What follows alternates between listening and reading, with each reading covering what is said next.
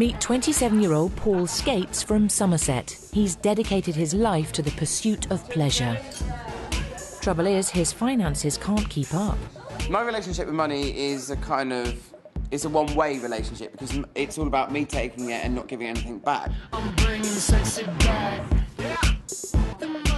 Despite earning £1,800 a month, his debt has reached a hair raising 36 grand. I love spending my money mainly on socialising, pampering, and making myself look good. Maybe £110. Very much. Paul works as an events and music promoter, but for him, every day's a big event. I'm here for a good time, not a long time, and kind of always living that my dream. His dream is to run his own company catering to the jet set. In reality, he's heading for Skid Row. Like £60 for stay, please. Great, sixty pounds well spent. Over the next four weeks, lifestyle guru Jay Hunt will put the brakes on his spending. You're choosing a very risky job market.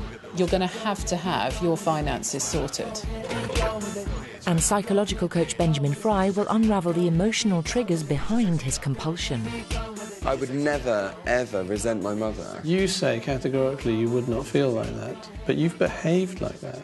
I'm incredibly desperate to change. I need to change, and without this change, God knows what direction I will end up going within.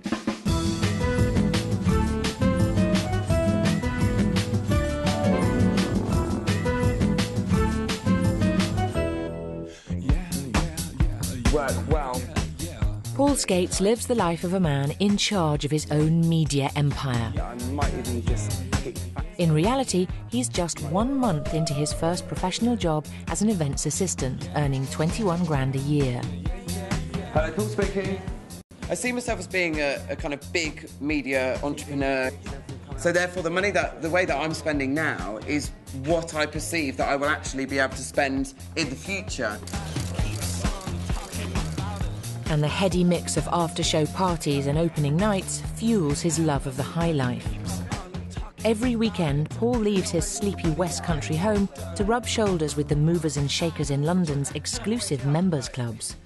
he kind of on a night out will spend whatever he has on the most expensive drink at the bar and it's just to kind of impress other people who doesn't even know won't ever see again Image is very important to me. A because, like anybody, I want to look good for myself, but also for my career. It's it's it's the quintessential, if you like, of, of, of what my job is. With his spending out of control, the banks have long turned their backs on him, leaving his long suffering parents to pick up the tab. The family over the years all been bailed out. We're, we're talking, well, thousands, if not tens of thousands. But even they've reached their credit limit. Banks won't give him any more money. We won't give him any more money. He, he hasn't anywhere else to go. 717 Great, thank you very much. With no signs of stopping, Paul is at crisis point. I love money, but money doesn't necessarily love me at the moment.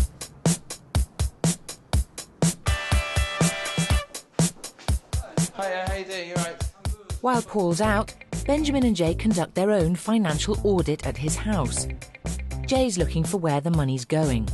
Benjamin's searching for any psychological patterns to his spending behaviour.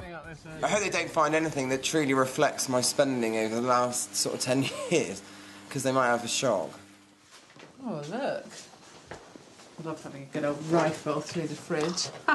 Champagne? yes. Do you think there's a special occasion coming up? Well, I don't know. There's four bottles in Ah, there, it so looks like a typical night in. it's quite bare. What's that? Tenancy agreement. Oh, look, he's only just moved in. Interesting. Quite high rent.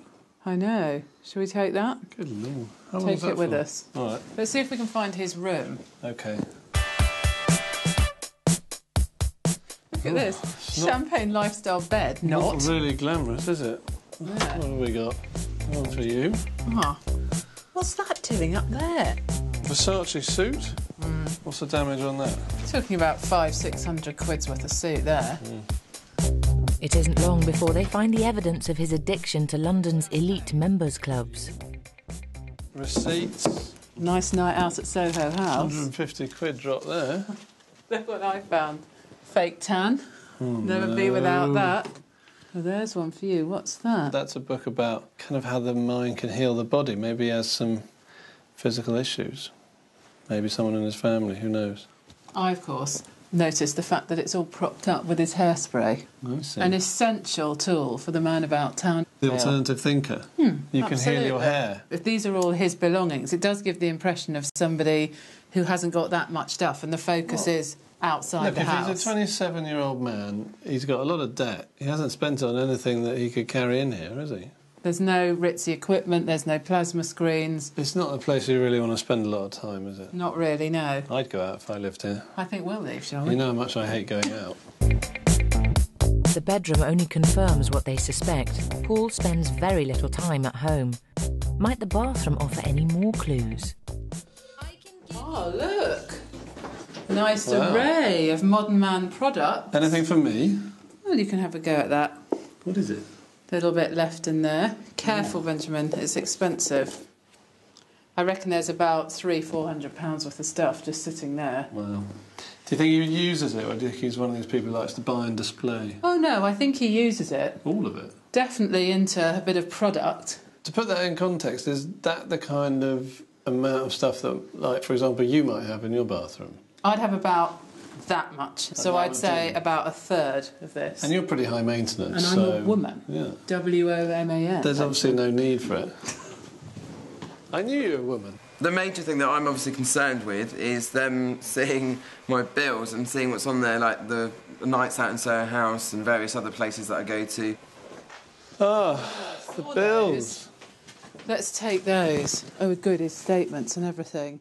Paul's right to be worried. His bank statements read like a day to day inventory of A list celebrities, with regular visits to members' clubs, West End salons, and health spas. God, It's like so much at Soho House. Look, Soho House, does he actually live there? Oh my god. It's not called House for nothing, I There's suppose. masses of stuff there. There's a lot of money here as well on hairdressing. Looks like like £60 a week or something. This is a guy who likes to indulge, that's for sure. It's like Mm. Pamper City. It's incredible. I know. What does he get up to, this bloke? God only knows. Let's Let's have take this this. with us.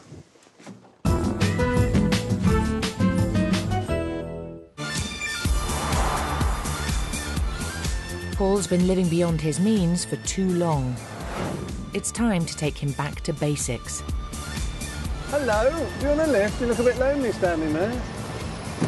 Come on in. Paul, thanks for coming with us today. Have you got any idea why we've got you in the back of this car? I don't at all. I kind of feel a bit like Challenge Anneka or something like that. It's like, what's going to happen next? We thought we'd ease you in today. Mm-hmm. We're just going to go on a little journey and pick up some friends along the way, if that's okay. Yeah. Paul feels presentation is vital to his career. What Benjamin and Jay want to drive home is just how much this image is costing him. Ah, here's our first friend. Oh, it's lovely to see you. And you, nice to meet you. Nice to meet you. Are you happy? Oh, no. Very happy, Good, because if you're happy, I can cut your hair, all right? Hello, Seb. Sort your tan out. Hello. Right, shall we get your feet out? Paul runs up five treatments in an average week. Your complexion will be amazing. And the best thing is, you smell gorgeous too. But will the final bill come as a surprise? So if I said, put a mm-hmm. total on how much you think you spend in a year on treatments, what would you think it would be? In the thousands. I don't know, to be honest. I really kind of randomly just trying to work it out. Paul, the amount of money you spend on pampering yourself in a year would pay for this size of team to pamper you all week long. We've worked out that the actual total of how much you spend is £9,200 a year It's a nice tidy sum, isn't it? on all your treatments. Is that more than you thought? It is actually, to be fair. I didn't have a, a great idea, but it, I don't know. I would I wouldn't have put it down to nine thousand two hundred a year. How relaxing is that? Um, not that doesn't sit that well actually. Um, if I had the right income, it would sit very well. But Sure. obviously, I'd just spend more if I had more. It just goes to show how much money you're spending. I- Is this been a bit of a shock? Um, quite clearly, I'd say yes. Okay. In your head.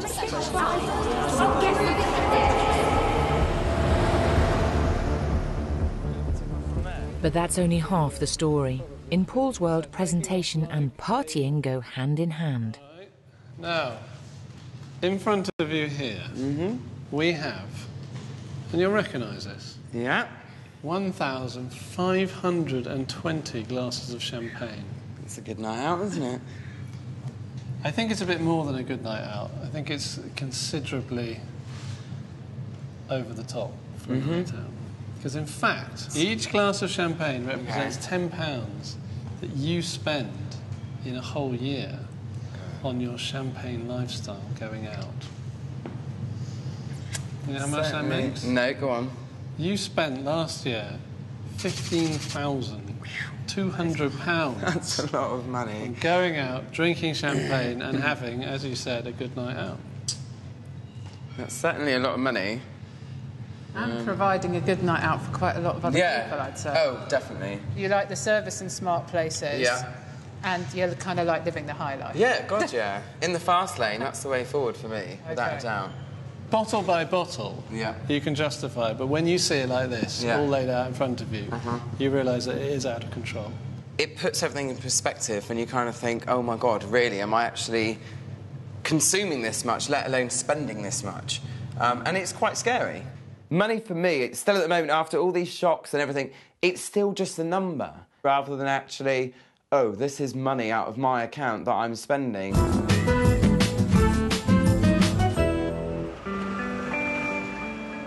Paul's clearly in denial about the true cost of his lifestyle. If he's to change, it will take a harsh dose of reality to bring him to his senses.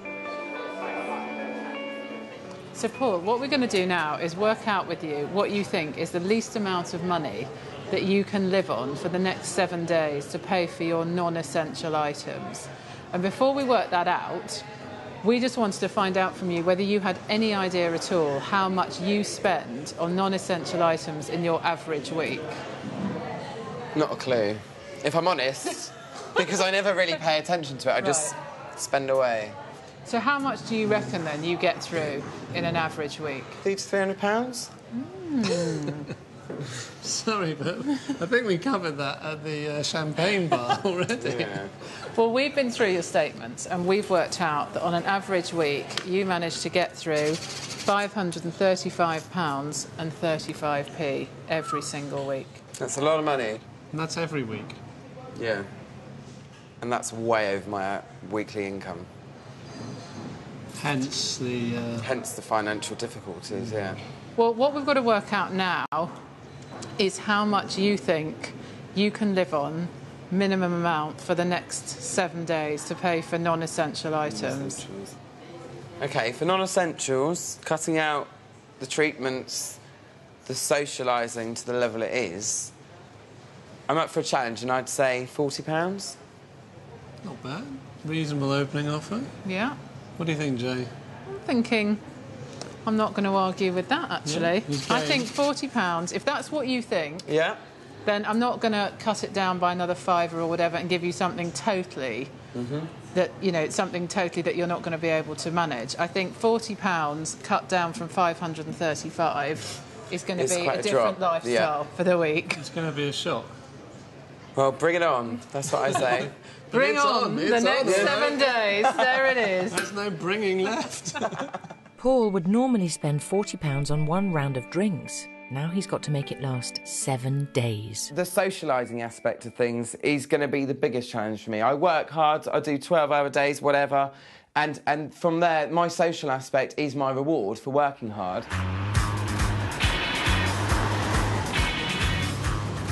It's day one of cold turkey. Paul's entering a brave new world, one without professional hairdressers. I can smell burnt hair, Ryan. What's that all about? You don't get That's that when you go It's into a salon, do you? It's normal, They get the bloody sack. For now, he's feeling confident. Then again, he is just 12 hours in. Do you think you can do it? yeah, I can do anything. no, I, I reckon seriously I can do it. I don't know if I can survive on forty pounds a week for the rest of my life.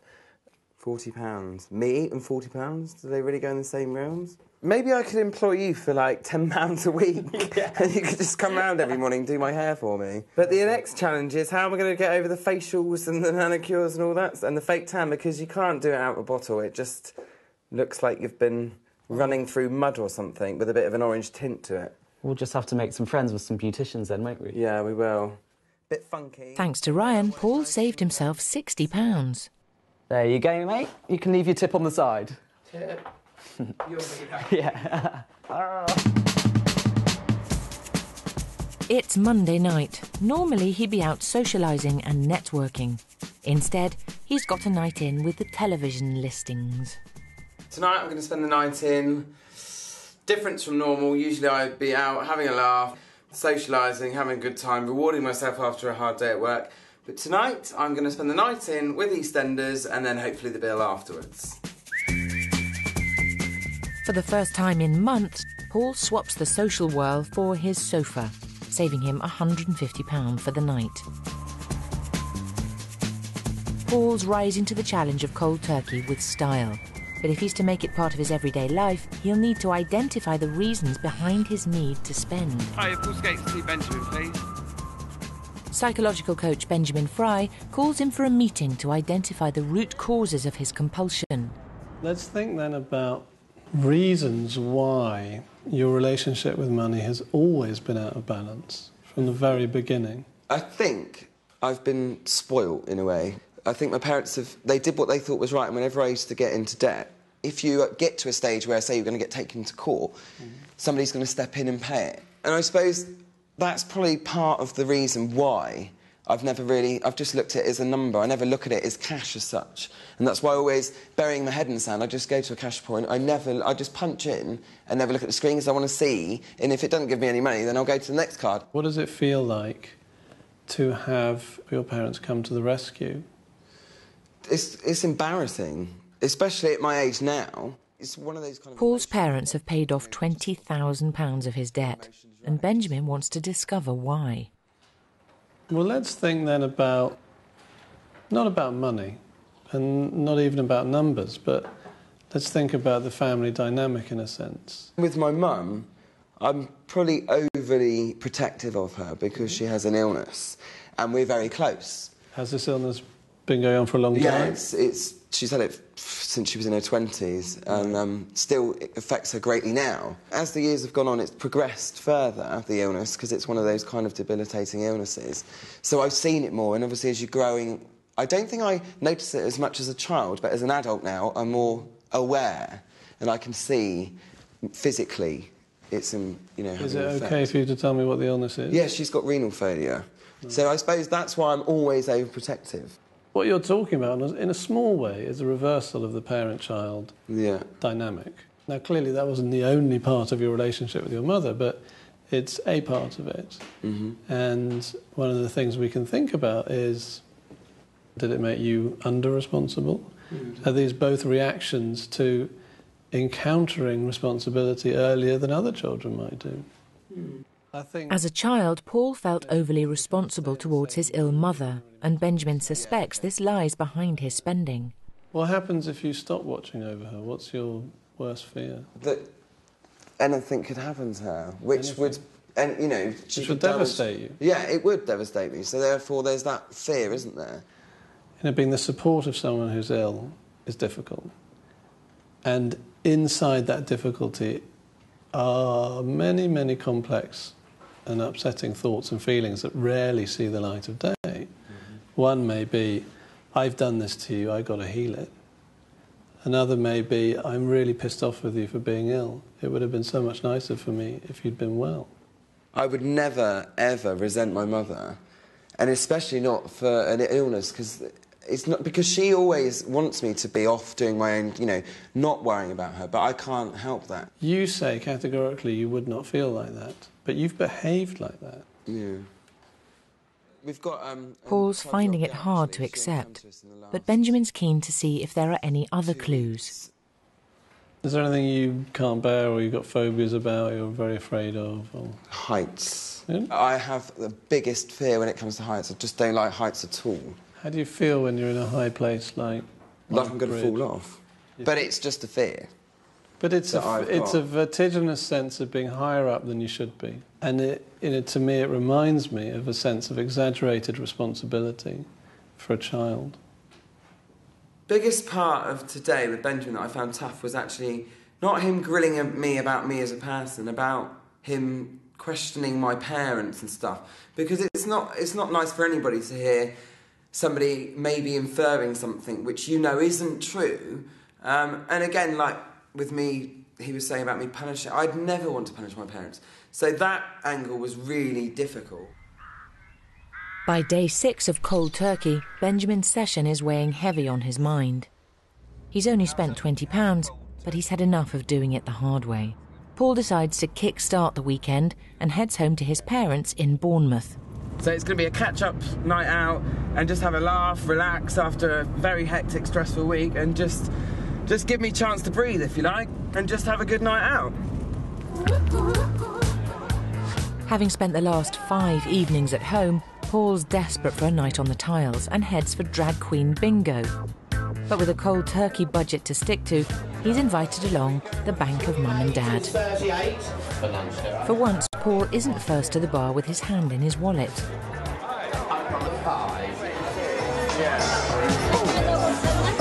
Any minute. His luck's in with the scratch cards too. Not you again. Yes, dear. Yes, dear. Yes, dear. And yes, dear. He knows just what to do with the winnings. Yes, can I get a pint of Ponyboy with lime, a Foster's and a vodka lime lemonade, please? So I'm having a great day. I'm not having to pay for lunch, I'm not having to pay for drinks, and that £10 I've just won, again, it's not my money, so real quids in and happy. Five pints later, Paul's only touched half his cold turkey budget. Not everyone's fooled.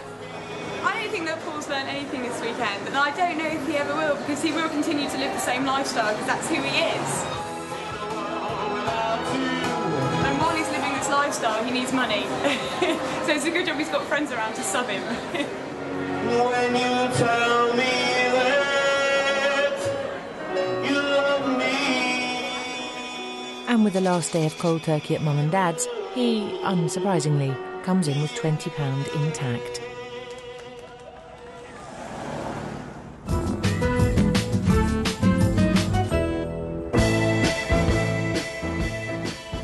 Back in the real world, Paul's parents are pulling the plug on his debts.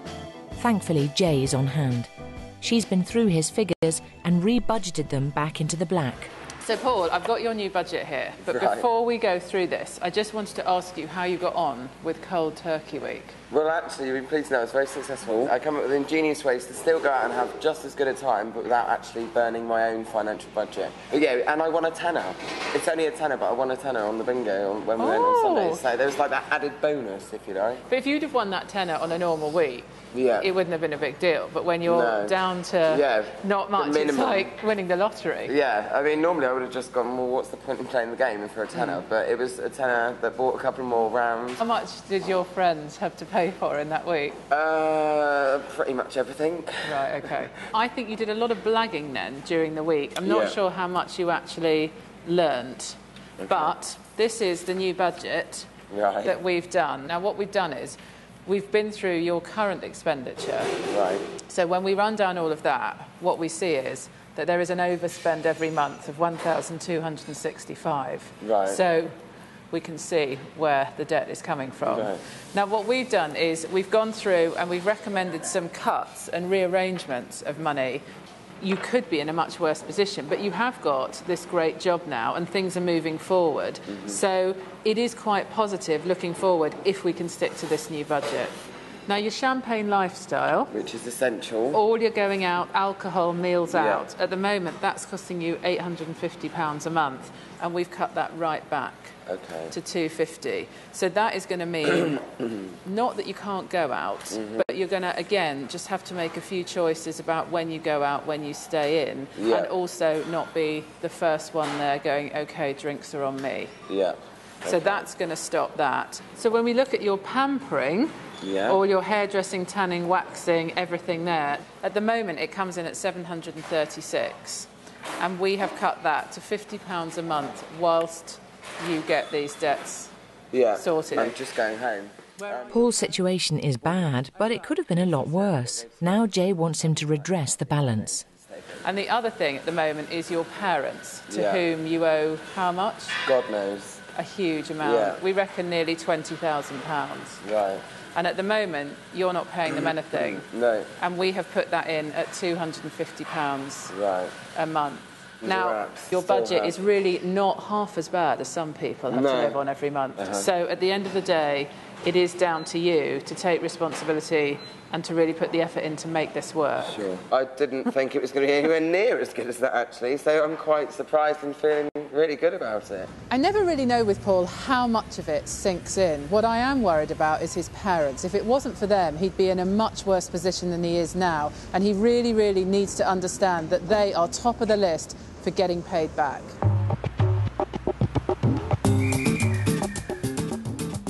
Having given him the tools to healthy finances, Jay now wants to give him the tools to a healthy body instead of spending hundreds of pounds on pampering. Five pound lunchtime exercise classes with a very exotic twist.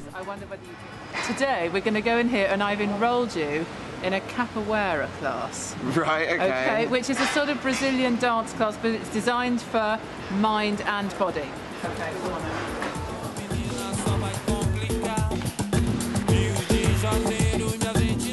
What the earth have you brought me to? First up, some light stretching exercises.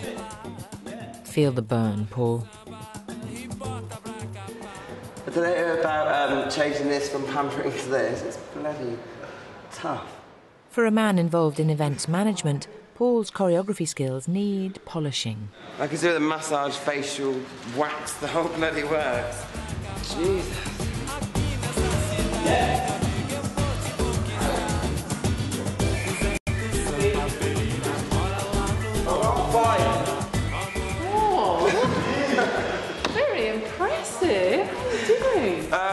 I'm feeling quite done in, but feeling good. Quite damp. Done. I've just been sweating profusely, yeah. What we're trying to do is get you to get a bit of a high out of this so that you're missing the treatment less. Sure. And for £5 a class, it's going to keep you on budget. Yeah. Hopefully. and keep happy. fit. Yeah, yeah. Jesus Christ. I think if I'm honest, capoeira, it's all, I enjoyed the experience and it's a very um, artistic uh, martial art. But, however, I think I'm going to stick with my normal pampering routine.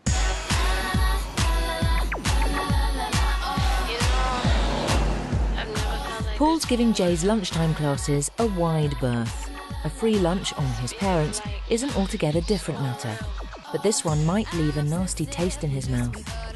Despite his best efforts to hide the true extent of his debt from them, his latest loan statement's been posted to their house, and they're not too happy. Was your student loan arrived? Oh. The £6,000 student loan that I thought you had has now become £16,887.82p, hmm. which is a bit different to what you said. Yeah. Because you're our son, we're going to find out. We're going to want to, you know, I'd be saying to you now, if I, if, if I had no idea that you how much debt you were in, now you've got a full-time job, when, when are you going to start getting the mortgage like your brother? When are you going to get your first of your own place? And you'd have to be making more life. No, know. Well, yeah. Which is not- No, it's not fair and it's not right. It's the only thing that I have lied about is the money. This is your debt, Yeah. not our debt. No, but so that's why we're I- not, yeah, that's we're not fine having you going as a parent that we'd like to, because you're a grown man, and you are the one that's going to suffer because you've got to pay this. And you get near to it. Paul's running out of excuses, and it isn't just his parents who are at a loss. I, I just don't understand how you've got yourself into so much debt because I, I never did it, and Yeah, but you I- even lived at home. You have a different lifestyle to me. You're happy to just.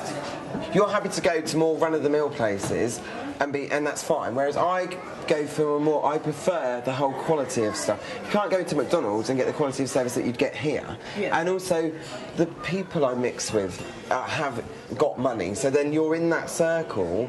And, and they're going to those places, so you're going there. It's not a case of keeping up with the Joneses, but you're in that circle, and it's then, well, you can't, if you can't afford it, you can't go, and then you're missing out on that interaction, that part that I enjoy. Yeah, but I used to go out all the time. But I think also there's a difference. Like you'd go out and drink, I don't know, a pint of lager, and I'd if on normally if I had the money, I'd be drinking bottles of Cristal and stuff like that. So it's having that enrichment and taste for more expensive things. Not that you wouldn't enjoy it. You're just burying your head in the sand. I had no idea it was as bad as it was. No.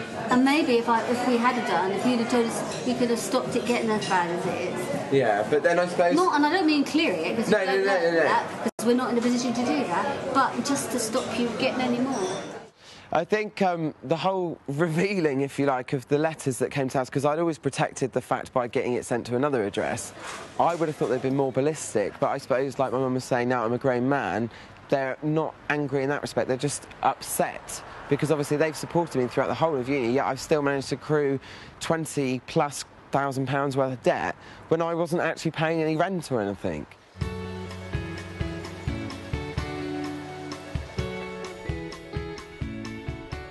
With family relations at an all time low, Benjamin intervenes and calls them for a meeting. He suspects that Paul's spending is subconsciously linked to the responsibility he felt towards his mum when growing up.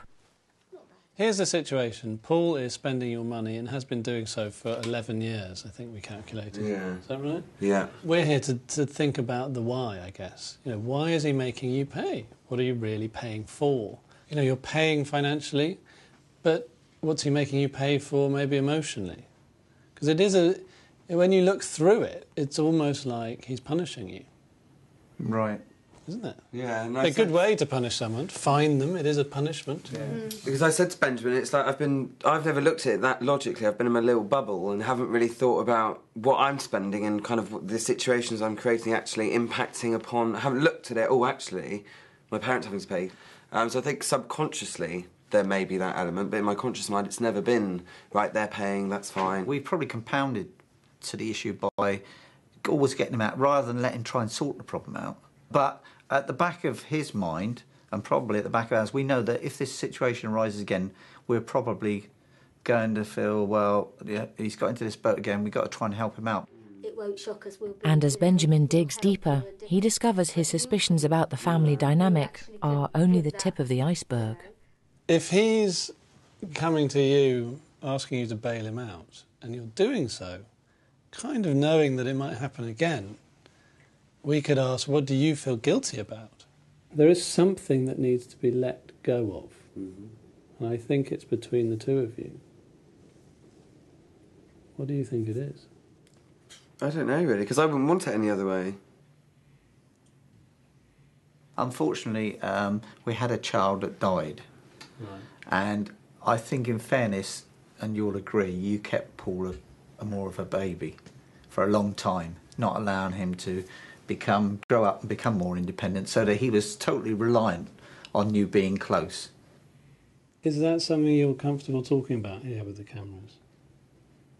Uh, I obviously found it very difficult. Um, as a family, I have a, a fear of losing all of my family because I, having lost a son, it becomes This was a son after Paul, soon after? So Paul was a only young. 18 months old when Adam died. So yeah, it was easy for me to just give my my affection, my extra love for that child to Paul. The baby. Mm, because and he needed me, and I at that stage needed to be needed. Having lost her third son in childbirth, Paul's mum became overly protective of him, and Benjamin can still see echoes of that in their current relationship. You know, with you struggling with such a loss, and with him helping in such a considerable way to fill that loss, that's a very special early dynamic to set up. One which I think has not been corrected. And I think that there's, you know, there's all sorts of consequences to that. The most recent one of which is the two of you down the bank, you saying this will be the last time, and Paul saying this will be the last time, and both of you knowing it won't be the last time, because you're still playing the game that was set up all those years ago. Yeah. Today's been really tiring. It's been um, a bit of an emotional roller coaster, and obviously being with Benjamin and my parents and different topics were brought up that are quite sensitive to us as a family. Um, it's quite challenging. I was ama- I'm amazed at how tired I feel actually because I haven't actually done a lot physically, but mentally it's been quite a drain.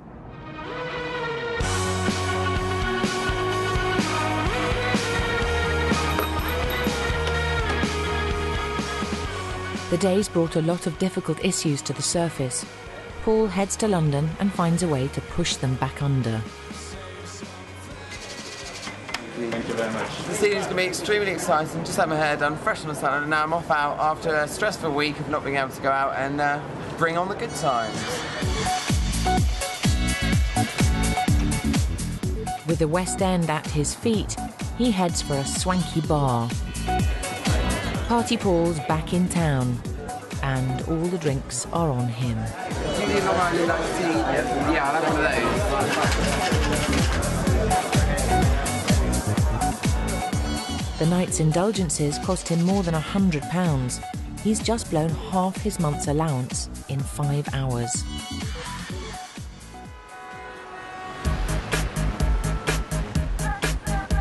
Jay decides to tackle him head on.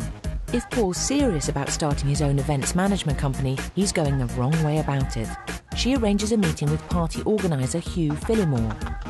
Here we are. Hi, ah. Hugh. This is Paul. Hi, how you doing? Good to meet you. Have a seat. whose clients include Rod Stewart, the Royals, Elton John, and Kylie. You're choosing to want to go into what is a very time. risky mm. sort of job market, which makes it even more imperative that when you start, you're going to have to have your finances sorted. Yeah. You can't go into a high risk business with a debt. No.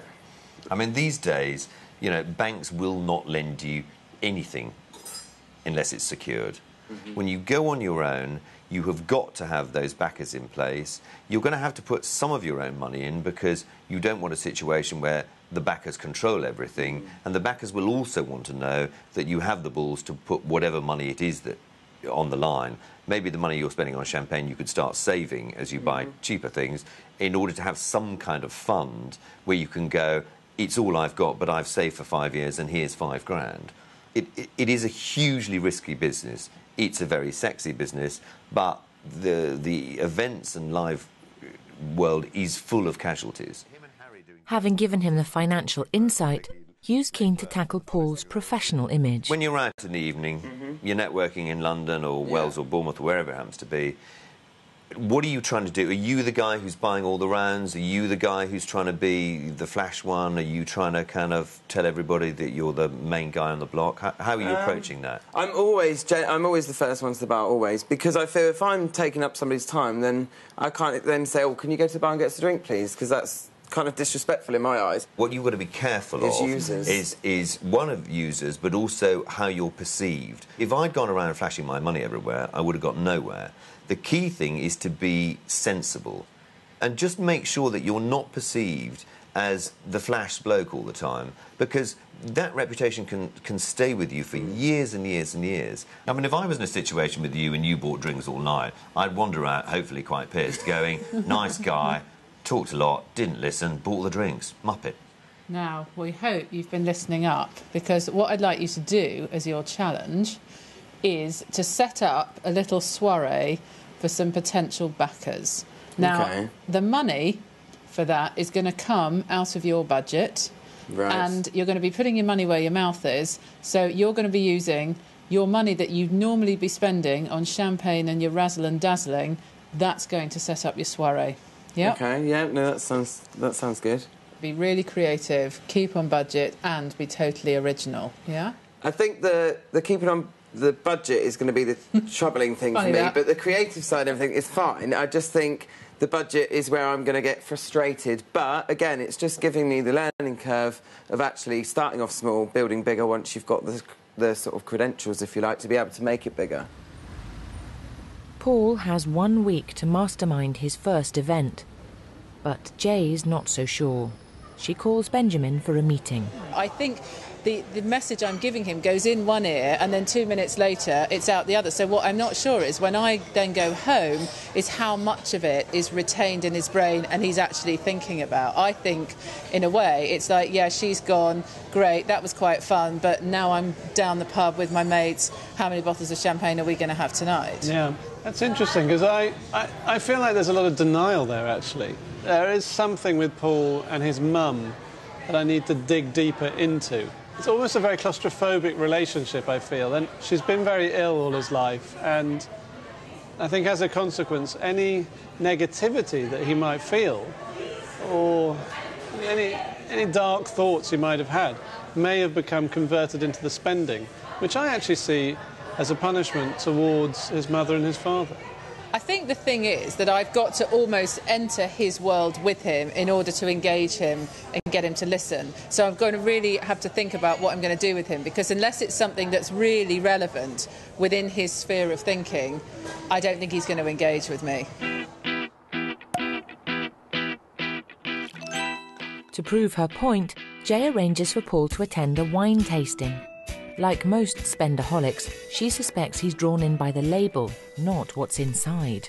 This is Ollie. How are you? Nice to see you. This is Hiya, Paul. how you doing? Hello, Paul. Great to see you. How's Now, you things? might recognise With the help of wine expert Ollie Smith, she's chosen six different fizzes for him to taste. But only one is champagne. So what we're going to do is do a taste test Okay. to see how much image affects you or whether we can go by taste. And this should really, really see whether you know your cavas from your Cristal. Well, let's rock on with sample number one. Now, usually with fizz, uh, Yeah. you want to look for really tiny bubbles, which will indicate a high quality. Tiny bubbles going up in a uniform strand. You don't want to think of like soda water where they're massive and they're all going crazy. Paul says he prefers champagne for its taste, not its price. It's nice, but it kind of reminds me of a fizzy wine. So, with five of the wines not being champagne, how difficult can it be? It's nice, actually. Like It's a good one. Yeah. We've come to the end of our tasting. Uh, pick out for me the one that you enjoyed the most. I think I'm going to go with number three, closely followed by number one. I agree with you, it's the best one there, and I'm really pleased to reveal it's English. Great. Nyetimber, oh. sparkling wine.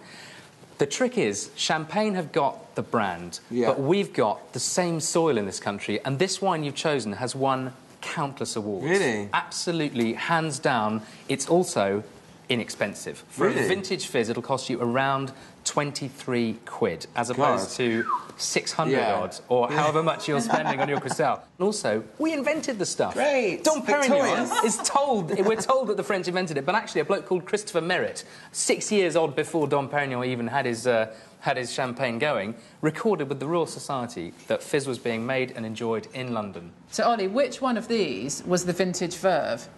It was number two. Ah, the one you didn't like. Well, I didn't like. It's not that I didn't like it. It just Oh, wasn't you as nice see. as number three. Well, there we go. But what I love about this is it gives you the chance, when you do your events, you've got a great story. Yeah. And rather than just the label and the bling factor and the badge, you can then say to them, I've got something that's going to knock your socks off in flavour, but also there's a brilliant story behind it Behind it. because it's surprising, it's English. English. And it makes you look like a connoisseur and it makes you look like you know what you're talking We're about. liking We're liking you it a lot, yeah, And yeah. it's something that you're happy with. Yeah. No, I don't feel like I'm compromising a great deal in taste. It's nice. Because it's Yeah. not like we're suggesting, oh, there's this cheap old nonsense and that's what you've got to Yeah. serve because that's what your budget is. It's about finding something that you like, you feel yeah. happy with. As Ollie said, there's got a story to back it up. And Mhm. you've obviously got to be serving that to your clients and, Yeah. and feeling confident that that's what you're serving. You're getting a, a bespoke suit here, a Yeah. tailored suit for the price of a pair of ropey old pants. That's going to make him happy. His time with Jay might be over, but her challenge still stands. In just two days, he'll be staging his first event. Now, Benjamin wants Paul to face up to his relationship with his mother. He believes that Paul's fear of heights is linked to the heightened sense of responsibility he felt for her as a child, and that this now manifests itself as a fear of high places. You all right on these stairs? Yeah, the stairs are all right, actually. Yeah. Benjamin's brought him to Crystal Palace, where the facilities include a 5 metre, a 7.5 metre, and a 10 metre high diving board. How are you feeling up here? As soon as I got onto the last step, it was like oof, the rushing and the anxiety and lightheadedness kicked in. It's a bit more serious up here, isn't it? Yeah. What I'm particularly worried about is that this sense of vertigo relates to a highly exaggerated sense of responsibility for your mother. What I'm thinking is that this is your mum. Okay. And you are holding your mother. You're taking responsibility for your mother. Mm-hmm. So you're going to the edge of the diving board with an extra burden. And I want, I want you to think about that as we go to the front of this quite high diving board together. Right, okay. Okay? You up for that? Yeah. Okay, just come, take it easy, one step at a time. Gently does it. The first board is five metres high, but for Paul it's almost too much. Now Benjamin wants to address the apprehension he felt as a child. Vertigo is an expression of your anxiety. Can you hold on to it? It's funny. It's funny how like I've if when we explore it further, maybe that I've taken on the responsibility without actually being without them saying right, it's your responsibility to look after. It's weird how you take it on yourself. That's one of the weirdest things about young children. It's absolutely universal that they all take it on themselves because they don't understand there's a world without them. Right. They just see the world from birth as being because of them and about them. So if anything happens, even an earthquake, they'll think There is a they did it. Nervousness about it, but not. With Paul responding to his line of inquiry, Benjamin decides to take things further by another five metres. You've, uh, you fancy it then? Um, well, let's give it a go and see how we get on. Do you feel any more confident now than you Um, did at the bottom? I think so, yeah, because it's kind of like testing the water, isn't it? Now you know what to expect. But it isn't long before the heightened sense of responsibility takes hold. Right. Um, just bring yourself gently towards the front, if you can. Right, here is where it all kicks in. Okay, it's all kicking in. It's like this line. Okay, so let's go to this line. Now it's kicking in the sense of Yeah. Awareness we're of the high height, up, yeah. high up. And your reaction to that again is that feeling of wanting to just fall in, get it over and done with. Um, or just walk back down the stairs. Well, that's a reasonable Yeah. option. Paul's progressing well. There's just one final step to take. Yeah. I'm wondering how you'd feel at giving me the ball, giving me your mum to look after. Just for a minute. Yeah, I can do that. So you have no responsibility. Right.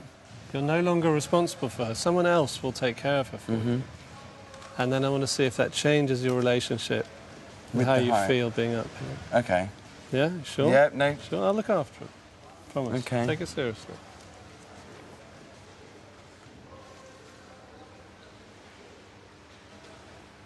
It's not too bad, but it's still like rather not be stood here for too long. Okay, but the moment you gave me the ball, you walked to the front of the platform. Yeah. No hesitation, not a word. Yeah, that's interesting actually. At last, Paul is beginning to understand how his relationship with his mother is at the core of his relationship with money. I think that the reason you punish your parents over money is because you're actually angry and upset that you've been hanging on to this. My compulsion and impulsive nature to spend, Mhm. it's like it's I'm trying to reward myself because of my mum's illness and stuff. So why shouldn't I? Sod it. Let's Yeah. go and just have what I want because everything else, you know what I mean? You've And why shouldn't they pay for it? Because she's the one that's ill. Feeling elated, Paul's fear momentarily slips and he decides to take a leap into the unknown. So, hold on, you're the guy with vertigo and you spontaneously want to jump off just to 10 see metre what it's diving like, board. you know? Remember, don't look down, don't think about it. I'm going to count down from three. Um, yeah, right then. I'll give you the countdown. Three, two, one.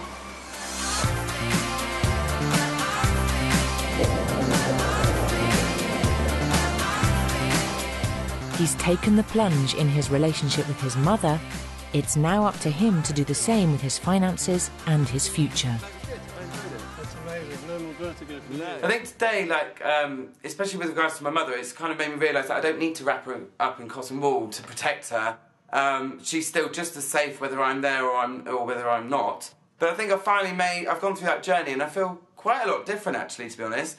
Um, and at first, when he first said about jumping off, I thought, "Are you having a laugh?" And then would you have leave it? There I was in the water. I jumped from ten meters high. So um, it was certainly an experience. Four weeks ago, Paul Scates was living the life of a playboy. Addicted to pampering and posh members bars, he was 37 grand in debt and heading for financial meltdown. Since then, Jay has made him realise it's possible to be sophisticated on a budget For a vintage fizz, it'll cost you around 23 quid. and given him the tools to seek the success he's longed for. You can't go into a high risk business with a debt. Meanwhile, psychological coach Benjamin Fry has helped him overcome his fears of his mother's illness and finally take control of his finances. You have £250 to spend solely on yourself. Thank you very much, Don. That's wonderful. And first of May to come. He's now facing up to the future and his responsibilities, not only to himself, but to those closest to him. There's just one hurdle left to overcome. It's Jay's final challenge. She's asked him to host a night for potential investors, using the £400 he would normally have spent on a night out schmoozing. For Paul, it's the ultimate test. Can he use the skills he's been taught to put his partying days behind him and enter a more productive future? Come on, guys, we've got 30 minutes to go. The cue slip's a bit funny. It's all right, Sinead. Paul is extremely nervous about tonight. I think we've gone from doing a drinks party for about 10 people to, um, I think about 100 we've got coming tonight. So nerves are running wild everywhere, really. With 10 minutes till the first guests arrive, Paul's nerves kick in. Okay, it's half past seven, just gone. Um, so it's a little bit panic stages. Are they all going to turn up? I'm kind of at that stage where I'm getting a bit peeved with people and trying to rush people along to get things moving quicker. In the oven, can you get it out?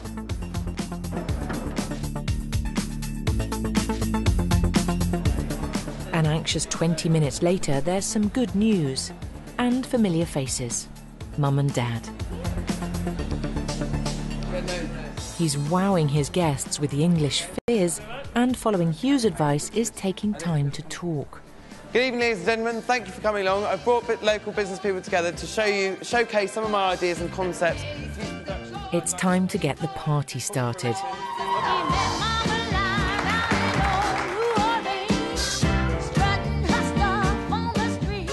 With the fizz flowing and an impressive lineup of entertainment, Paul's night out on a budget is a smash hit.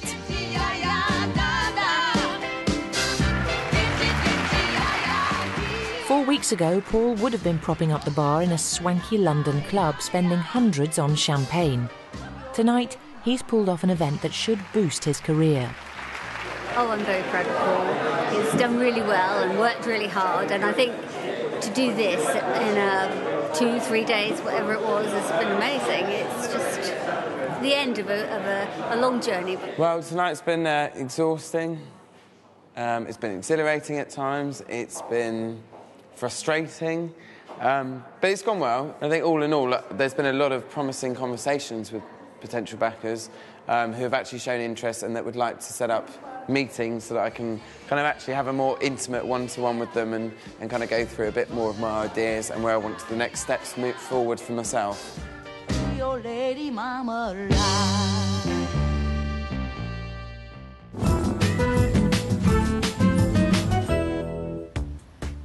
It's nearly two months since Paul Scates embarked on his financial makeover. Now, Benjamin and Jay are back to see how he's fared. So, Paul, how's it been?